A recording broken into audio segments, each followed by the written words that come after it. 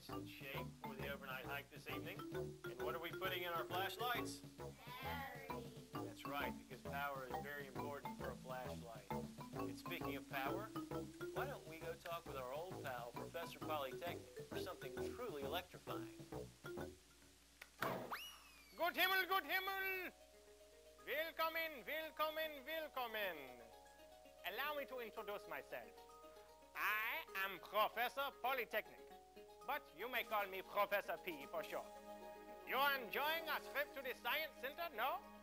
While it is a fascinating assortment of scientific wonders, none of it would be possible without one simple word hypothesis. What is a hypothesis, you may ask?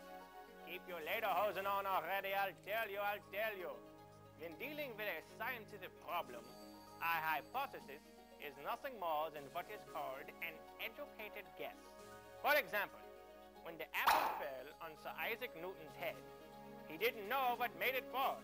But, and it's a big but, he guessed that some type of force made the apple fall to the ground. This was his hypothesis, which helped Sir Isaac Newton come up with his laws of gravity, which only goes to prove that if you do not know how something works, make a good guess as to how it does work. That way, you can have your very own hypothesis, just like Sir Isaac Newton, Mr. Smarty Pants. And I have a distinct hypothesis that I will see you again soon. So until next time, auf Wiedersehen!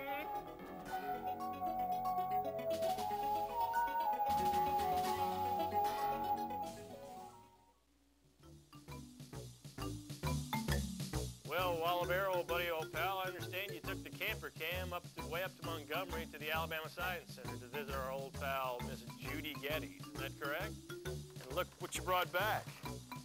A genuine, way swell, very keen harmonograph drawing from our camper pals, Holly, Umia, Corey, and Tiffany.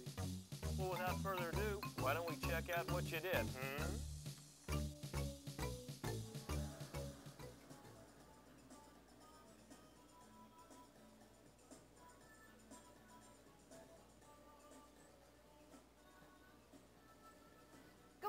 Morning, campers. Good morning. Welcome to the Alabama Science Center. The Alabama Science Center is a project of Alabama Power Company, and we're very glad to have you here today. We hope you're glad to be here. Who likes science? Oh, wow, I'm so glad.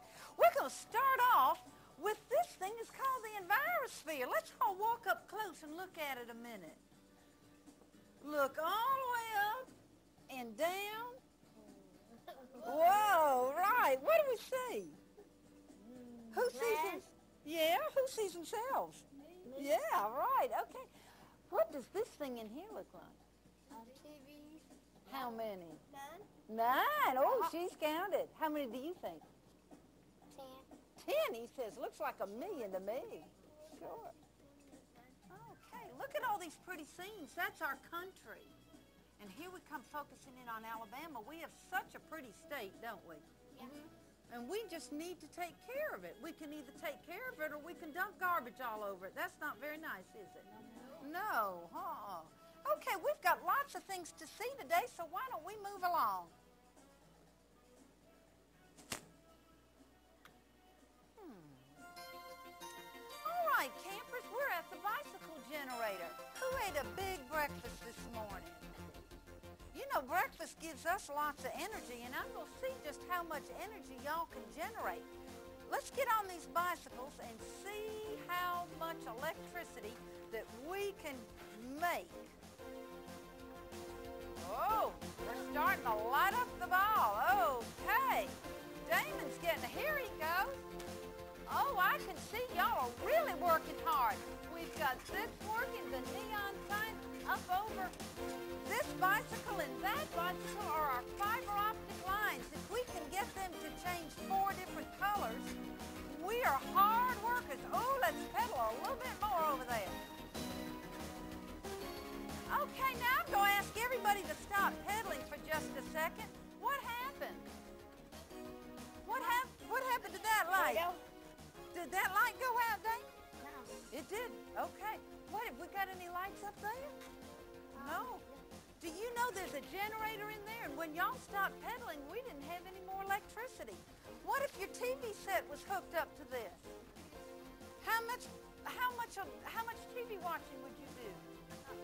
Not very much, he says. I tell you what. But y'all, I can see everybody had a good breakfast today. Let's move along and look at some other things. All right, boys and girls, we've got something here that's going to explain conductivity. What a big word. We've got different metals all underneath our big globe. I see some copper, lead. What else do we see? Blue, brass? Sure. And steel. We've got five different metals. And they're different sizes, but they're all the same mass. Now, they're going to heat up differently, and in just a minute, we're going to turn that heater on, and then we're going to walk around and see which one is going to get the hottest, the fastest. Does everybody see the, the thermometer that's in front of them? Okay, what does yours say? 80.9. This one's up to 82.9. All right, let's turn the heat on, and we're going to see which one is going to get the hottest, the fastest. I'm going to walk around and look. The brass is up to what? 78. Right. Okay. Let's come on around here. Oh, the lead isn't very hot, is it? What's it? It's only 80.3. Right. Moving around. Oh, goodness. Aluminum's getting hot. Well, sometimes it might be getting too hot. Let's give it a little break, and then we'll raise up, mash it down again, and it'll work. Okay, I think, what's this metal right here? Copper. I believe copper's the winner, don't you? Does anybody's mama have copper on the bottom of their pots? Yeah, those that shows because they do that on purpose because it's going to heat up quicker. Sure enough, and lots of the most of the wires in our houses are copper also. Okay, let's move along. I spy more zany antics from the Alabama Science Center, but first, let's visit our benevolent benefactor, J. Walter Waldenger. Well, hey there. Looks like you caught me working on something big. That's why they call it big business. Anyway, I'm glad you're here. How about that there Science Center? Now that's big. I mean, huge. All those different exhibits and experiments that actually put all those different scientific facts into practice. Which, as usual, brings me to my point. You see, in order to prove those theories, the scientists that came up with them in the first place had to do a lot of work to formulate those theories. Then, they had to practice those theories until they worked often enough to be accepted as facts. You see, in a nutshell, that's what those eggheads in the lab call the scientific method. And what's even more incredible is that you can use the scientific method in everything you do. If you want to be a good basketball, practice free throws as often as possible. If you want to be a great piano player, practice. You want to be a great writer, painter, or scientist? Fine. But you've got to practice. So keep plugging. And always remember that you're never too small to think big.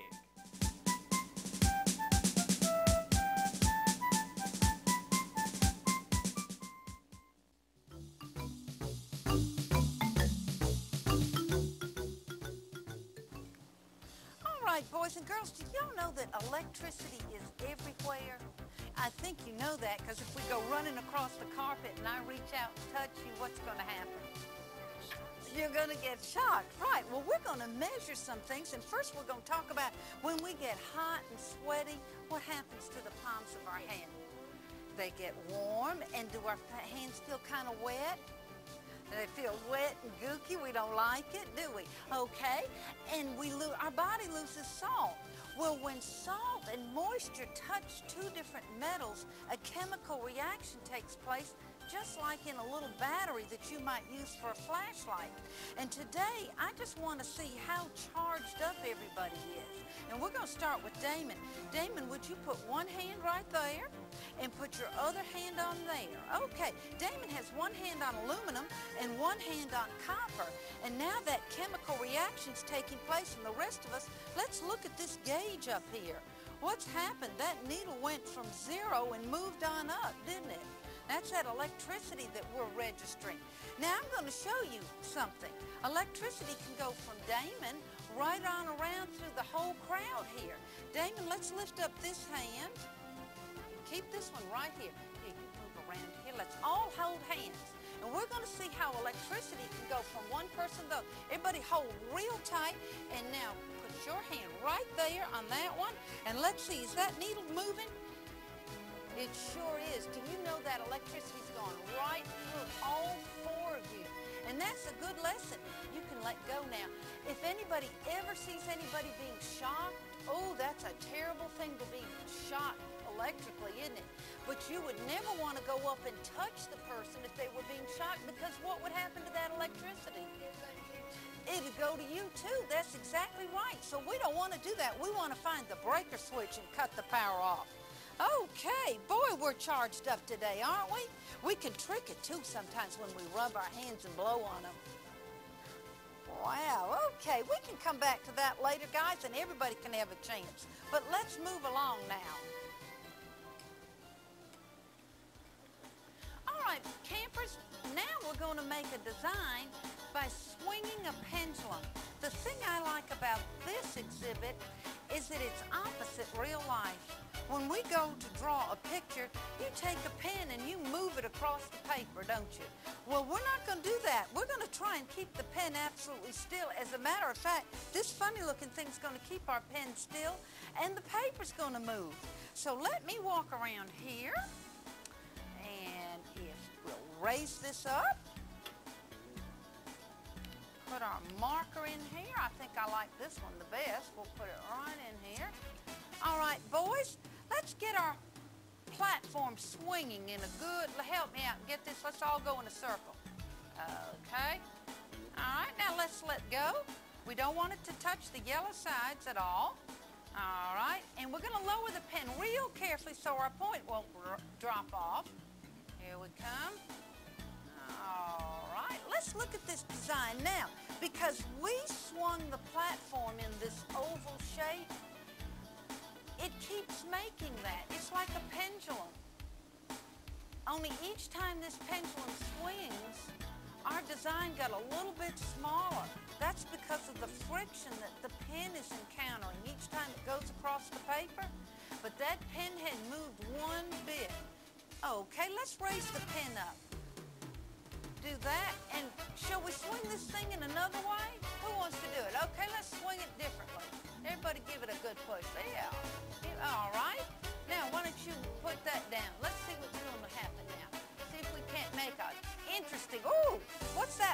That look like, somebody? Looks like Saturn. Looks like Saturn. I think that's a good guess, don't you? Because it looks like the solar system. Yeah, there's the rings and there's the sun. I think that's a good idea. Okay, do we want to swing it in another direction? This way, back and forth? Okay, let's do that. All right, here we go. And we'll put the pen down again. Let's see what happens. Okay. All right. Now we've made a little one, sure enough. Oh, that's good. Okay, and if we let that thing swing and swing and swing till it doesn't swing anymore, where's the pen going to be? Right there. Right in the middle. That is so true. Okay. You want to swing it that way? Okay, let's let, Look, we're gonna let you swing it this time. You push it back and forth. All right, now I bet this will be our last swing. We'll put that down. Okay. Oh, I think we have a fine design. I really like that design. I don't think I've ever seen one just like, you know, you can't ever do two exactly the same. It does, it does. Okay. Well, I tell you what, we'll let that come to a stop and then we'll move on to make some lightning. All right, now we're going to have a chance to make some lightning in just a minute. Lightning, you know, that's electricity. A little bit ago, we were all on that bicycle pedaling as hard as we could to make some elect. We were generating electricity. And then I told you that electricity's everywhere. It's in your body. Well, we can see electricity in the sky at night if we've got a bad thunderstorm, and it appears as lightning. And that just happens when those clouds get so charged up. Ooh, they don't, that's right. Choom, choom. They don't like all those extra charges they've got. And so they, they have to get rid of them. And we see it as lightning. Well, let's turn this little knob and see if we can't make some lightning with my lightning machine. Oh, wow. Look at that go. We're just making it happen in here the very same way. We're charging that stuff up, and it doesn't like it, and it's just popping around. Let's let everybody have a chance to make some. Tiffany, did you push that button? Step up there and make some light. Okay, let's see what Tiffany. Oh, all right. Enough of that, I think. I believe we've made enough lightning to, to set the world on fire. We don't want to do that, do we? Lightning's dangerous, and we always have to be careful around it. What is Isaac Newton's favorite food? Anybody know? I didn't hear you. Apple. Way to go. Okay, campers, I think this is my favorite thing in all the Science Center. What is it? Well, what's it look like? Roller coaster. A roller, and it is a little roller coaster, but instead of having a car with people in it, that we've got a ball. That's right, Damien. And in just a minute, we're going to crank that ball up, and we're going to watch and see where that ball goes. Let's give that wheel a crank. Okay, everybody come with me. Let's watch it come around. Let's listen to the chimes as it goes through. Woo!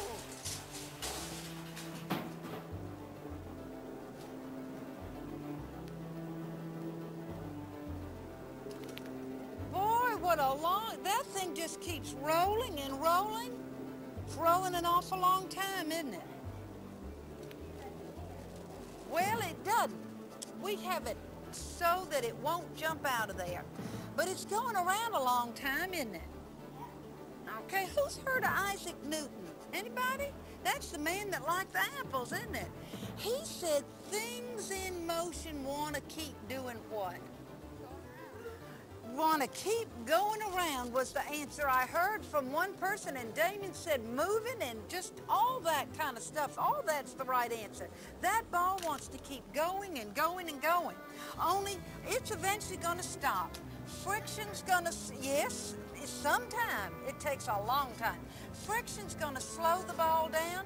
And tell me all at one time, what's going to pull the ball down? Gravity. Gravity. Boy, y'all know your physics, don't you? I'm proud of you campers. You are great campers. Did anybody hear the chimes? When the, when the ball went through? How about when it went up and around in a circle like that? It hit that thing. Is that kind of crazy when a ball goes up instead of down? I, I kind of it is, isn't it? Yeah, but if it's got power. All right. Corey said if it's got enough power. The, the special word right there is momentum, Corey. When it has enough momentum, that ball can go up and around and fall down. Ooh, I think we're, a, that's a fulcrum. But it didn't go on the fulcrum. It'll do that the next time. I think we're about ready to hear a big loud noise. Let's see. Everybody's looking down to see what's going to happen to the ball. It's going to scare you. Well, that's only because it's going to make a loud noise. Just about now. Oh, it's getting closer. Getting closer. It's getting closer. I think Bear's getting excited. Woo! Here we go. Kaboom! Way to go. Okay. let's see. Do it one more time. Yes, we're going to do it one more time, and we're going to see the short track. Let's take that ball up as quickly as we can, guys. Okay, thank you. And let's all come around this way. Here comes the ball, up over our heads. Going to close up the electrical circuit, light up the bulb. Woo! Wham! And we can start all over again if we want to, but we still have more things to see at the Science Center. So let's move along, okay?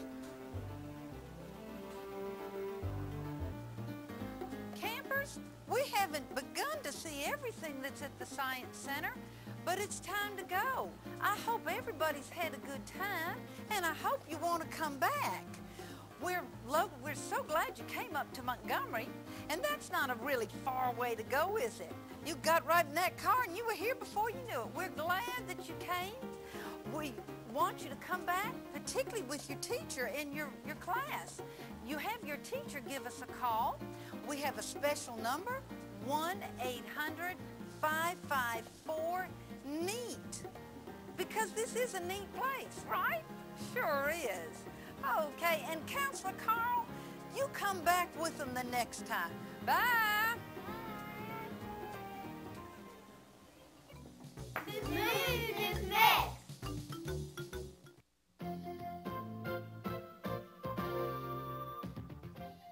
This is a Camp Wallabear special edition of Action News 10. Good morning, happy campers. I'm Eleanor Reynolds, and this is Wallabear News. Some area high school students are definitely in the holiday spirit. 13 juniors and seniors from Murphy High School's Vocational Industrial Club decked the halls with decorations at the Child Advocacy Center in Mobile this week. All the decorations, including the Christmas tree, were donated by area merchants. The Child Advocacy Center helps parents and children recover from abusive family situations. Do you guys get to select the Christmas tree with your folks? Well, if you're about to do that, here are some pointers on what to help your folks look for in selecting a tree. First, jump on the hayride out to look at all the beautiful trees like these at McDavid's Tree Farm. Then look for fresh foliage by the tree's color and how well the needles bend. If they don't break, it's a healthy tree. Make sure the trunk is straight. That helps keep the tree from falling over in the stand. And please make sure it's not higher than your ceiling so you don't have to cut a lot off the top. This holiday season, the Jingle Cats are at it again with a new album, The Jingle Cats Meowie Christmas. Listen.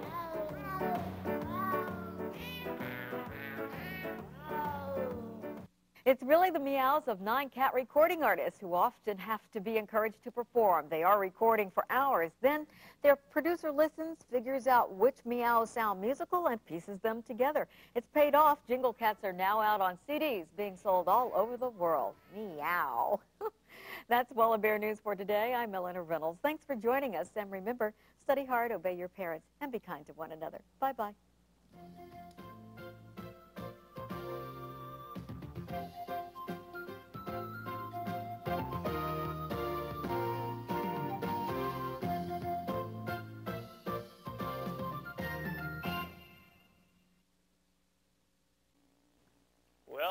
Our trip to the Alabama Science Center certainly was an illuminating experience.